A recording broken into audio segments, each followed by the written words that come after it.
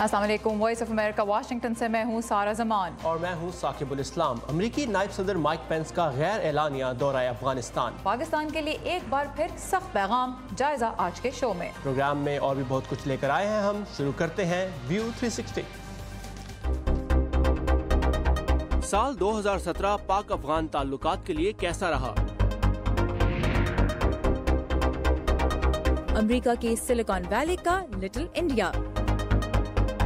Nobody is lonely here. Come and have chai. Give me a million reasons.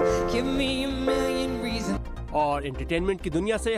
Hollywood highlights Do you have the papers? Not yet. امریکی نائب صدر mic پینس افغانستان کے غیر اعلانیہ دورے کے بعد وطن واپس پہنچ رہے ہیں۔ نائب صدر نے بگرام ایئر بیس پر امریکی فوجیوں سے خطاب کیا، لیکن اس موقع پر ایک بار پھر پاکستان کو انہوں نے سخت پیغام بھیجا۔ مزید تفصیلات کے ساتھ ندیم یعقوب ہمارے ساتھ ہیں کیپٹل ہل سے۔ ندیم، اس دورے کی تفصیلات کیا ہیں؟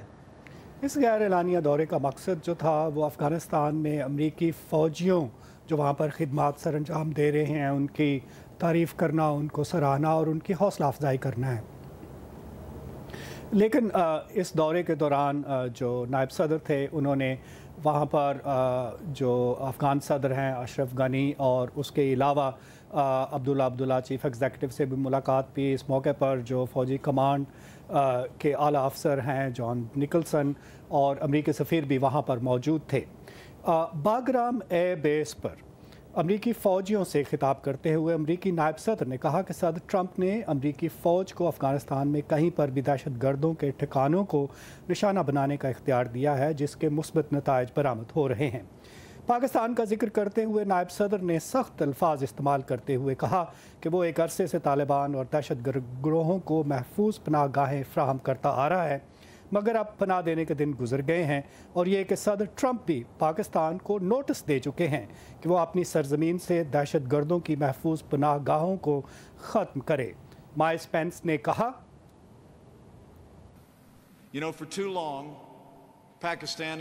ایک لمبے عرصے تک پاکستان طالبان اور دہشت گرد گروہوں کو محفوظ پناہ گاہیں فراہم کرتا آ رہا ہے۔ اب وہ دن گزر گئے ہیں۔ صدر ٹرمپ نے پاکستان کو نوٹس دے رکھا ہے۔ میں صدر ٹرمپ کے الفاظ دہراؤں گا کہ امریکہ کے ساتھ تعاون کرنے سے پاکستان کو فائدہ ہوگا۔ مگر پاکستان اگر جرائم پیشہ افراد اور دہشت گرد تنظیموں کی پشت پناہی جاری رکھتا ہے تو اسے بہت نقصان اٹھانا پڑے گا۔ نائب صدر کے اس بیان سے پہلے اگر آپ کو یاد ہو تو جب صدر ٹرمپ نے ساؤتھ ایشیا اور افغانستان کے لیے اپنی اسٹریٹجی کا اعلان کیا اور ابھی حال ہی میں جب انہوں نے نیشنل سیکیورٹی اسٹریٹجی کا اعلان کیا تو اس میں بھی پاکستان پر زور دیا کہ وہ مبینہ طور پر جو دہشت گردوں کی پناہیں ہیں، ان کے خلاف کارروائی کرنے ورنہ اسے نتائج کا سامنا کرنا پڑے گا۔ پاکستان کی سیکرٹری خارجہ تیمینہ جنجوا نے جو سینٹ کی committee standing committee on foreign relations ہے، اس کو بریفنگ دیتے ہوئے ان بیانات کو یکسر مسترد کیا۔ انہوں نے جو نائب صدر اور اس سے پہلے پینٹاگون کے جو بیانات تھے، ان پر بھی تشویش کا اظہار کیا اور کہا کہ یہ پاکستان کو بدنام کرنے کی کی سازش ہے یا بدنام کرنے کی کوشش کی جا رہی ہے اور امریکہ کو چاہیے کہ وہ جو پاکستان کے خدشات ہیں، ان پر بھی توجہ دے۔ جی۔ ندیم یعقوب ہمارے ساتھ تھے کیپٹل ہل سے۔ Nadeem thank you for these updates سال دو ہزار سترہ کے اختتام پر پاکستان کے امریکہ اور افغانستان کے ساتھ تعلقات کی نوعیت کیسی ہے؟ اس پر ہم بات کریں گے سیکیورٹی امور کے ایک ماہر سے۔ لیکن پہلے نظر ڈالتے ہیں پاکستان اور افغانستان کے درمیان اس سال پیش آنے والے کچھ اہم واقعات پر۔ رواں سال کے دوران پاکستان اور افغانستان کے پیچیدہ تعلقات میں مزید شدت آئی اور دونوں اطراف سے ایک دوسرے کے خلاف اپنی زمین کے استعمال کی اجازت دیے جانے کے الزامات عائد کیے گئے۔ افغان صدر نے پاکستان پر امن کوششوں میں رکاوٹ ڈالنے کا الزام لگایا۔ جس دن سے میں نے اقتدار سنبھالا ہے میں نے پاکستان کے ساتھ تعلقات بہتر بنانے کے لیے ہر ممکن کوشش کی لیکن اس کا کوئی فائدہ نہیں ہوا۔ ہم نے تنازعات اور دہشت گردی کے خاتمے کے لیے دو طرفہ سہ فریقی چار فریقی اور حتیٰ کے کثیر فریقی مذاکرات بھی کیے ہیں لیکن زیادہ پیش رفت نہیں ہوئی۔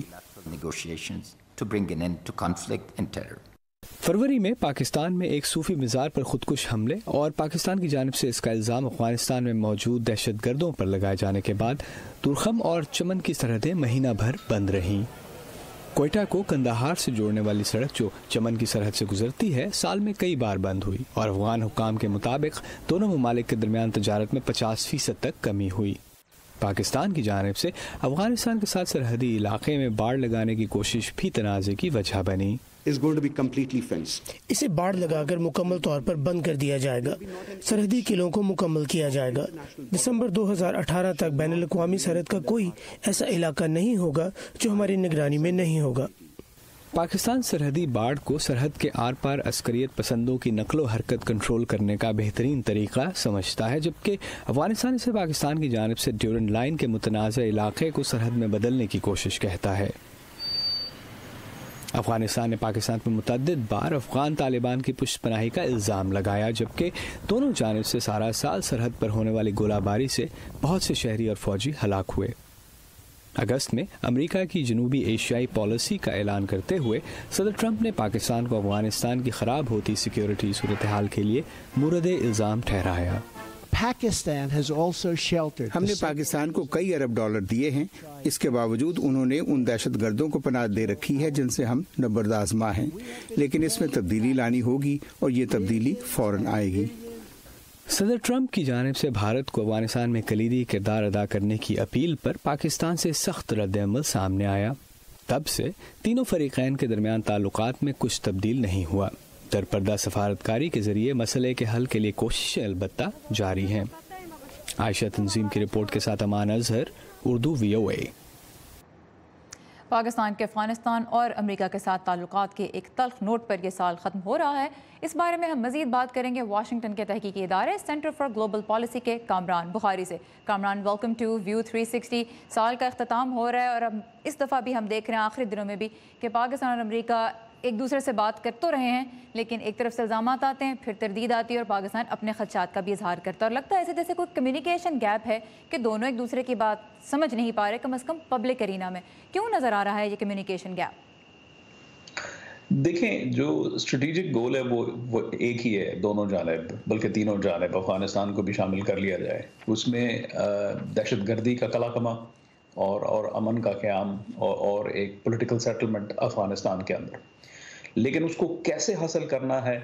اس کے اوپر جو ہے امریکہ پاکستان اور افغانستان کے درمیان اختلافات ہیں۔ زیادہ تر اختلافات جو ہیں وہ پاکستان اور امریکہ کے ہیں۔ امریکہ کے لیے یہ ایک شارٹ ٹرم گول گول ہے۔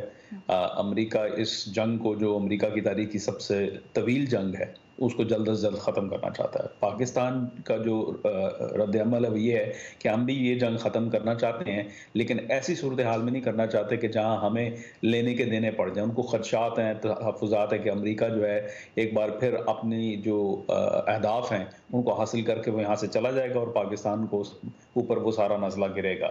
تو میں سمجھتا ہوں کہ یہاں پر بات آ کے رکی ہوئی ہے اور اس سے آگے جا نہیں رہی ہے۔ تو کیا طریقہ ہو کہ یہ جو مفادات تو مشترک ہیں لیکن ان کو حاصل کرنے کا جو طریقہ مختلف ہو رہا ہے سب کا، کیا اس کو ایک پیج پہ لانا ممکن ہے یا یہ حقیقت اب ایکسیپٹ کی جائے کہ نہیں، یہ ممکن نہیں ہے کہ تینوں ایک ہی پیج پر ہوں گے ٹیکٹکس کے بارے میں بھی؟ نہیں وہ تو میں سمجھتا ہوں کہ تمام اطراف کی جانب سے یہ امید کی جاتی ہے کہ ایک پیج پہ آئیں گے کسی ٹائم پہ مستقبل میں اور ہو سکتا ہے کہ جو ہے زیادہ اپنا اس میں وقت نہ لگے۔ لیکن یہ ہے کہ جو سفر ہے جو ایک تو عدم اعتماد کا جو صورتحال ہے اور جو موجودہ جو اختلافات ہیں وہاں سے آگے کا جو سفر ہے وہ بہت لمبا ہے اور پیچیدہ ہے۔ اس کے لیے بیک چینلز کی ضرورت ہے۔ میڈیا سے ہٹ کے جو آفیشیل چینل سے ہٹ کے جو گفتگو ہے کیونکہ آفیشیل چینلز میں جو ہے جو گفتگو ہوتی ہے وہ ایک پرفارما ہوتی ہے۔ اس میں جو ہے گہرائی میں بات نہیں ہوتی اور وہ انگریزی میں کہتے ہیں یو ٹاکنگ پاسٹ ون اندر تو وہ والا جو سلسلہ ہے اس کو دور کرنے کے لیے میں سمجھتا ہوں بیک چینل میں خاموشی سے گفتگو کرنے کی ضرورت ہے۔ اچھا کل اقوام متحدہ کے سیکرٹری جنرل نے بھی اپنی کوارٹرلی رپورٹ پیش کی افغانستان کے بارے میں سیکیورٹی کاؤنسل کو، اور اس میں پورا جو اس سال ہوتا رہا ہے، خاص طور پہ جو آخر کے چار مہینوں میں ہوا ہے، اس کا احاطہ کیا گیا اور اس میں ایک بات یہ کہی گئی کہ افغانستان میں قیام امن کی جانب کوئی خاطر خواہ پیش رفت نہیں ہو سکی۔ اس کی ذمہ داری کس پر آتی ہے؟ میں سمجھ تمام سٹیک ہولڈرز پر آتی ہے۔ امریکہ پر بھی آتی ہے، پاکستان پر بھی آتی ہے، ایران پر بھی آتی ہے، افغانستان کی حکومت پر بھی آتی ہے۔ یہ جو چار میجر سٹیک ہولڈرز ہیں، ان کے اوپر تو آتی ہے۔ پھر دیگر اور سیکنڈری سٹیک ہولڈرز بھی ہیں۔ چائنا ہے انڈیا ہے ٹرکی ہے سعودی عرب ہے۔ دیگر اور خلیجی ممالک ہیں۔ تو اس اور سینٹرل ایشیا کے ممالک ہیں، روس ہے۔ تو یہ ذمہ داری جو ہے، بتدریج سب پر ہے۔ لیکن سب کو ایک میز پہ لانا جو ہے، بڑا مشکل ہے۔ جبکہ جو پرائمری ایکٹرز ہیں، پاکستان اور امریکہ اور افغانستان، اگر وہی نہیں مل بیٹھ کے بات چیت کر پا رہے، تو دوسرے جو ہیں، وہ مزید اس معاملے کو پیچیدہ کریں گے۔ ایک میں مزید اسی ٹاپک پہ آپ سے ایک اور سوال کرنا چاہتی ہوں وہ یہ ہے کہ سولہ سال سے یہ جنگ جاری ہے اس کے اوپر ایک ٹریلین ڈالر سے زیادہ خرچ ہو چکا ہے۔ اگر آج بھی اس میں اب بات یہ ہو رہی ہے کہ جی Pakistan needs to do more Pakistan کی طرف سے اگر سخت ٹھوس اقدامات اٹھائے جائیں تو صورتحال بدل سکتی ہے تو یہ امریکہ کی اسٹریٹجی اس کی ملٹری مائٹ اور اس کی جو فائنینشیل پاور ہے اس کے بارے میں کیا بتاتا ہے؟ دیکھیں امریکہ کی ملٹری مائٹ اور اس کی فائنینشیل پاور کو ایگزیجریٹ کیا گیا ہے۔ پوری دنیا کے اندر سپر پاور کو ہم جو ہے ایک ہالی ووڈ کے لینس سے دیکھتے ہیں کہ وہ سب کچھ کر سکتا ہے اور پھر جب وہ نہیں کر پاتا تو پھر ہم پریشان ہوتے ہیں کہ ایسا کیوں ہو رہا ہے۔ بات یہ ہے کہ کنسٹرینٹس جو ہیں وہ جیو پالیٹکس میں سپر پاور کو پہ بھی لاگو ہوتے ہیں اور چھوٹے ملک پہ بھی لاگو ہوتے ہیں۔ امریکہ کے بس کی بات نہیں ہے کہ وہ جو ہے کوئی فائنینشلی یا ملٹریلی اس کو سالو کر سکے۔ صرف اپنے ریسورسز استعمال کر کے۔ ٹھیک۔ ایک اور ٹاپک جو ہمارے ویورز کے لیے بہت اہم ہے اور وہ یروشلم کا ایشو ہے اور کل ہم نے دیکھا بہت بڑی ڈیولپمنٹ ہوئی ہے اقوام متحدہ میں۔ یروشلم کے متعلق جو امریکہ نے فیصلہ کیا ہے اس پہ قرارداد سامنے آئی۔ ایک سو اٹھائیس ملکوں نے امریکہ کے فیصلے کی مخالفت کی۔ میں ایک نظر اپنے ویورز کو یہ دکھانا چاہوں گی کہ اس کے بعد نکی ہیلی نے جو امریکی سفیر ہیں اقوام متحدہ میں انہوں نے نے کیا کہا اور پھر اس کے بارے میں بھی ایک سوال ہم آپ سے کریں گے کامران۔ ہم یہ دن تب تک یاد رکھیں گے جب ہمیں ایک بار پھر اقوام متحدہ کے لیے سب سے زیادہ فنڈز فراہم کرنے کو کہا جائے گا اور تب بھی جب بہت سے ملک ہم سے مدد مانگنے آئیں گے۔ جیسے وہ اکثر آئے ہیں کہ ہم انہیں مزید رقم دیں اور ان کے فائدے کے لیے اپنا اثر و رسوخ استعمال کریں۔ جی تو نکی ہیلی نے کہا کہ یہ ملک اور یہ ادارہ اقوام متحدہ ہم سے پیسے تو لیتے ہیں اور جب قرارداد کی بات آتی ہے تو اس طرح کا ان کا رویہ ہوتا ہے۔ جو ملک اور ادارے امریکہ سے پیسہ لیتے ہیں، کیا ذمہ داری بنتی ہے ان کی امریکہ کی جانب؟ دیکھیں ایسا تو نہیں ہے کہ جو ہے، اگر کوئی پیسہ لے رہا ہے تو وہ امریکہ کی ہر بات اس کو ماننی چاہیے۔ دیکھیں ملک جو ہوتے ہیں، وہ ساورن ہوتے ہیں۔ تمام نیشن سٹیٹ ساورن ہوتے ہیں، ان کے اپنے فیصلے ہوتے ہیں، اپنے مفادات ہوتے ہیں۔ لیکن دیکھیں ہم اس ریڈنگ ٹو مچ انٹو یہ جو ہے ریزولوشن اور پھر نکی ہیلی کا بیان۔ اور پھر یہ جو جو ہے بیان پہ بیان آ رہے ہیں۔ یہ جو ہے یہ زیادہ تر جو ہے وہ ایک شو ہے۔ اس میں حقیقت کوئی نہیں کوئی کوئی اس میں وہ ٹھوس بات کوئی نہیں ہو رہی۔ کیونکہ یہ سب ایٹماسفیرکس ہیں۔ اب نکی ہیلی اور صدر ٹرمپ اور ان کی انتظامیہ کیا کرے گی؟ اگر ان کے خلاف ایک سو اٹھائیس ملکوں نے ان کے جو فیصلے کو رد کیا ہے تو اس کا کوئی نہ کوئی جواب تو دینا ہے۔ کیا اس کا مطلب یہ ہے کہ وہ واقعی لوگوں کا جو ہے وہ یو این کو پیسہ دینا بند کر دیں گے یا ایڈ دینا بند کر دیں گے میں نہیں سمجھتا۔ ٹھیک۔ بہت شکریہ کامران بخارے آپ کے وقت کا اور انسائٹ کا۔ تھینک یو سو مچ اور پاکستان کے کچھ علاقوں سمیت دنیا بھر کے مختلف حصوں میں سردی کی شدید لہر جاری ہے اور وہاں برف باری بھی ہو رہی ہے۔ اس کی کچھ تصویریں آپ ہماری website Urdu B O A dot com پر دیکھ سکتے ہیں جہاں آپ کی دلچسپی کے بہت سے موضوعات پر خبریں اور تجزیے بھی موجود ہیں۔ اور پاکستان کے تاریخی ورثے کا ایک نادر نمونہ ہم آپ کو دکھائیں گے پروگرام میں آگے چل کر۔ اور اولاد کی مصروفیت کے باعث امریکہ میں تنہا محسوس کرنے والے بھارتی بزرگوں کی زندگی بہتر بنانے کی ایک منفرد کوشش بھی آپ کو دکھائیں گے۔ دنیا کے مختلف حصوں سے پہلے آئیے دیکھتے ہیں کہ کچھ گھنٹوں کے دوران کیا اہم خبریں اور واقعات دیکھنے کو ملے۔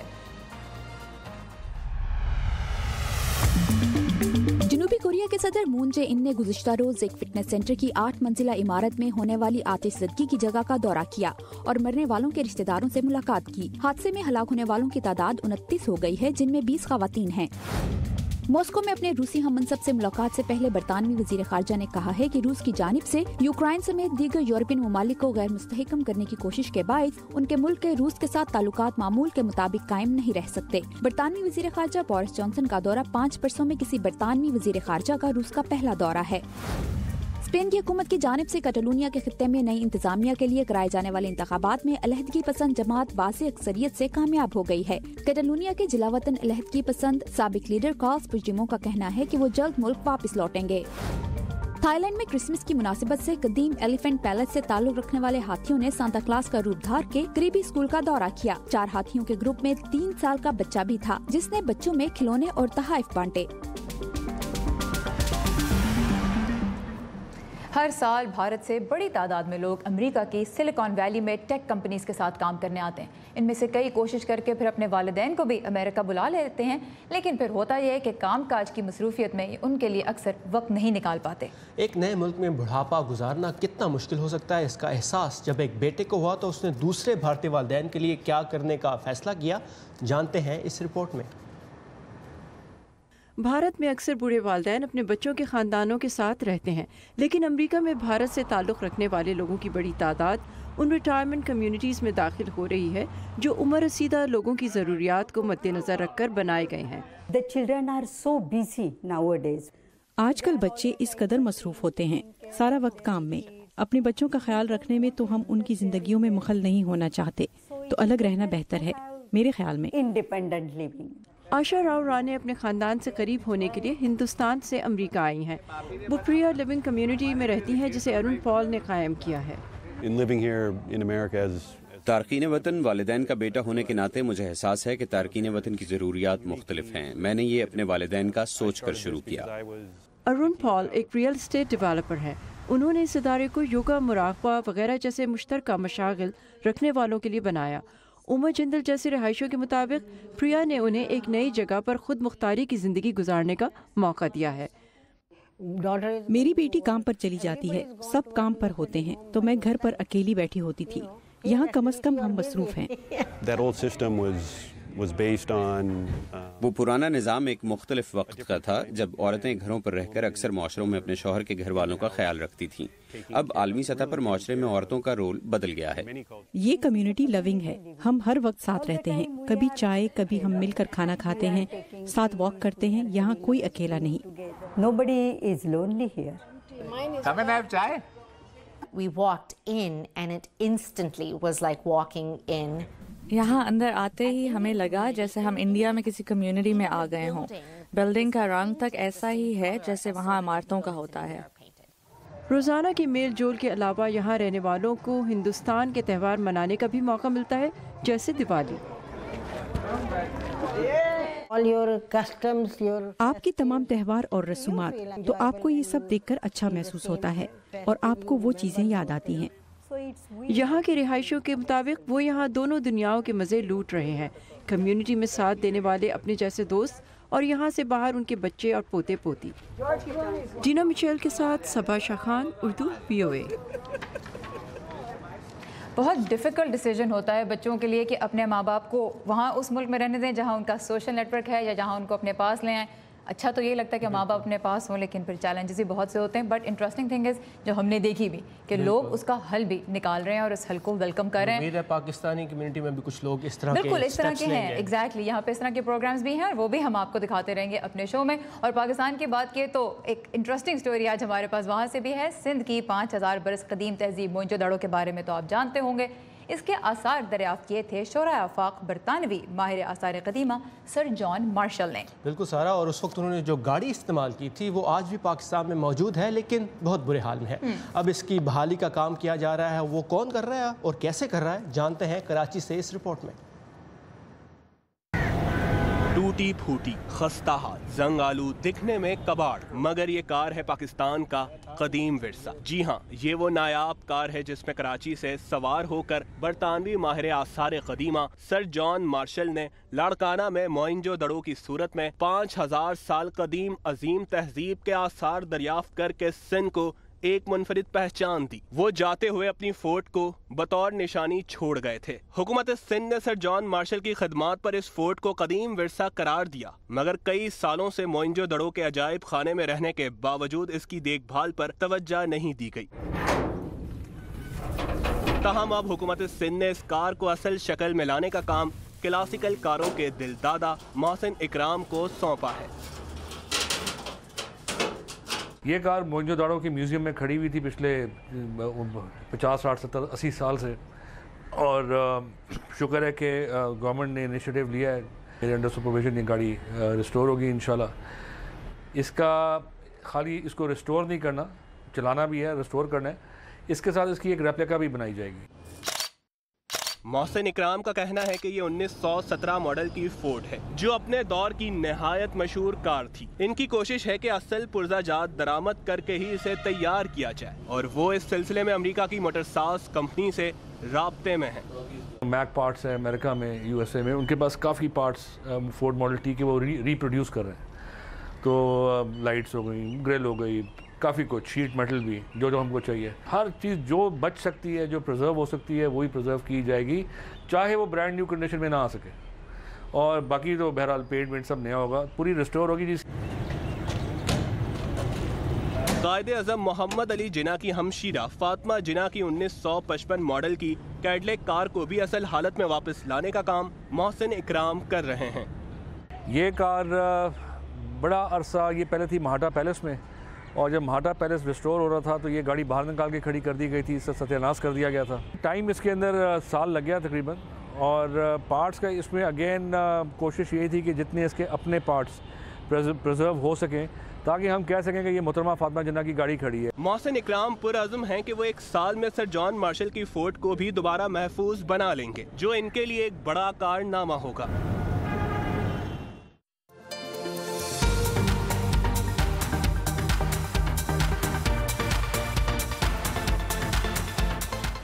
امریکی شہر لاس ویگس تفریح کے لیے دنیا بھر میں جانا جاتا ہے۔ وہاں سلین ڈیون اور جینیفر لوپس جیسے بڑے بڑے سٹارز بھی سیاحوں کو انٹرٹین کرتے ہیں اور اب ان میں ایک اور بہت بڑا نام شامل ہو گیا ہے۔ اور وہ کون ہے؟ دیکھتے ہیں اس ہفتے کی ہالی ووڈ ہائی لائٹس میں۔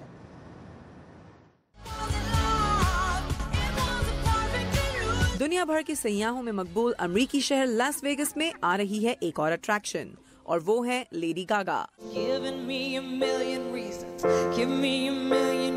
گاگا نے M G M Park theatre میں کانسرٹ کا کانٹریکٹ سائن کیا ہے۔ اگلے دو سال گاگا وہاں چوہتر شوز کریں گی اور ہر شو کے ان کو ملیں گے دس lakh dollar. Wow Las Vegas میں پرفارم کرنا گاگا کا خواب تھا۔ لگتا ہے she's hit the jackpot Ocean's 11, 12, 13 کے بعد پروڈیوسر جارج کلونی اور سٹیون سوربرگ لا رہے ہیں اوشنز 8 اس میں جارج کلونی نہیں نظر آئیں گے بلکہ فلم کی ہے آل فیمل کیسٹ جی ہاں فلم کا پہلا ٹریلر ریلیز ہو گیا ہے اور سینڈرا بولک کیٹ بلانشیٹ ریانا کی ٹیم کافی پرامسنگ لگ رہی ہے۔ اوشنز کی یہ پیشکش ریلیز ہوگی اگلے سال جون میں۔ کرسمس میں کچھ ہی دن رہ گئے ہیں and all I want for Christmas is you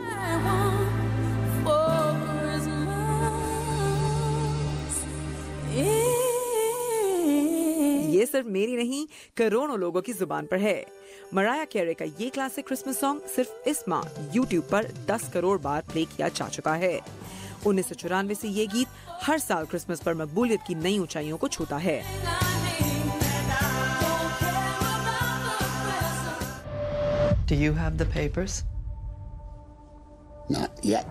press کی آزادی جمہوریت اور سیاسی مسائل۔ گلیمرس ٹاپکس تو نہیں لیکن دھماکے دار مک ضرور ہیں۔ اور یہی تھیم ہے ہالی ووڈ کے میگا ڈائریکٹر سٹیون سپیلبرگ کی نئی فلم دا پوسٹ کا۔ دا پوسٹ کہانی ہے مشہور امریکی اخبار واشنگٹن پوسٹ اور حکومت کے درمیان انیس سو اکہتر میں ہونے والی ایک کشمکش کی۔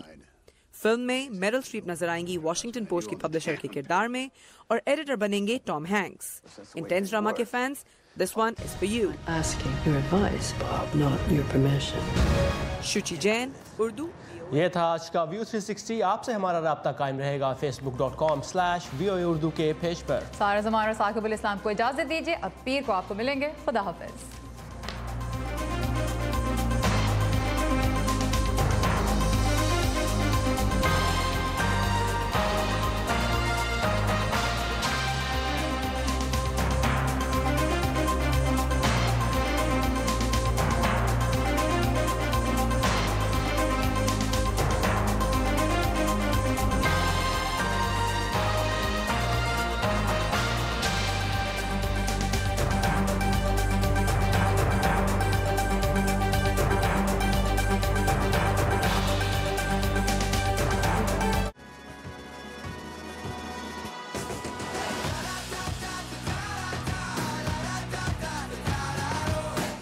Stunning landscapes are among the many natural wonders that can be found in national parks all across America. And they're the subject of a new film, National Parks Adventure. Maybe we could clear frame. Shot in IMAX 3D, a team of award winning filmmakers takes viewers on a stunning visual journey across more than half of America's nearly 60 national